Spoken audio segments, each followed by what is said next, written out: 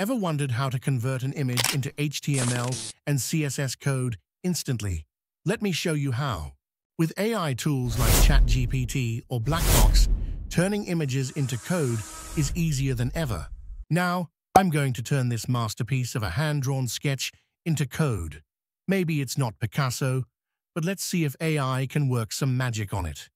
Open ChatGPT and upload your hand-drawn masterpiece. Now, describe what you want the AI to do with it, like the layout or design elements. For this demo, I'm working with a simple website design. ChatGPT analyzes the layout and generates the HTML and CSS code in seconds. Now, open CodePen, sign up, or log in if you haven't already, and click on Pen to create a new project.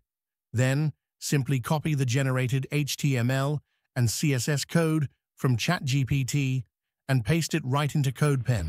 Here's the final result.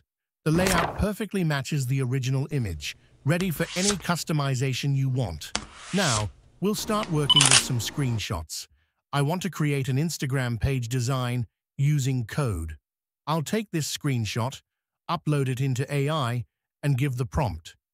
AI will instantly generate the HTML and CSS code. Then, I'll copy and paste that code into CodePen. And boom, we've got a live preview of our design. And that's how simple it is to turn your images into code using AI.